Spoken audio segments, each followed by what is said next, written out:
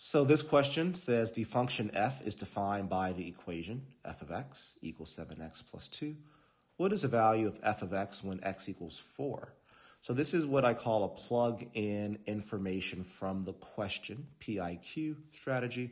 The question tells us that x is 4, so I'm going to take that 4, replace it here, which automatically means it's also replaced there. So when x is 4, we get f of 4 is equal to 7 times 4 plus 2.